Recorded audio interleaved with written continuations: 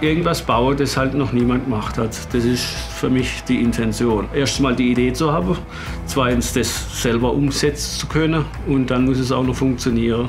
Das ist das, was mich antreibt. Ich bin der Willi Knör und ich baue Fahrzeuge, die es sonst nirgendwo zu sehen gibt. Das liegt mir irgendwie im Blut und das macht mir unheimlich Spaß.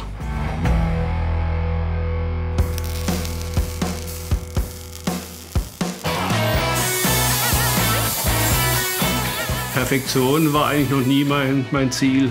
Ich mache es halt so, wie ich denke, dass es okay ist. Also ich arbeite nicht mit Planen oder so. Ich mache auch keine Zeichnung. Das äh, passiert alles im Kopf.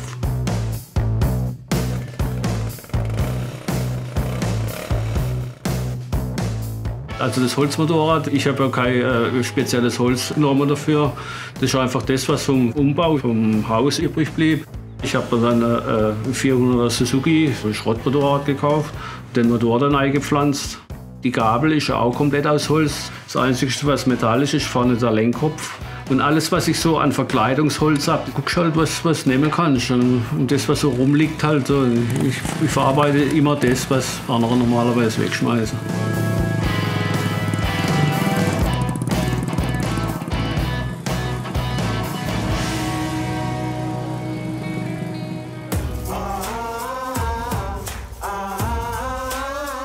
Die Werkstatt, die draußen vor meiner jetzigen Werkstatt noch bestanden hat, die ist jetzt ein Party-Location. Da habe ich Theke gebaut, wieder aus Schrottmaterial.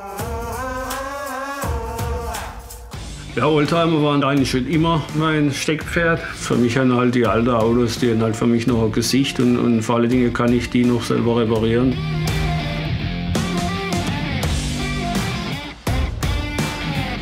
Das kommt einfach. Du hast solche Ideen und du weißt sofort, wie du das äh, umsetzen willst, wie du das machen willst. Und dann fangst du einfach an. Das sagt ja vorher keiner, ob das funktioniert oder nicht. Das musst du einfach ausprobieren. Ich bin halt Handwerker und das, was ich mache, kann ich am Schluss anfassen und kann was damit anfangen. Ich kann drauf sitzen, kann fahren. Und äh, das ist halt mein Ding.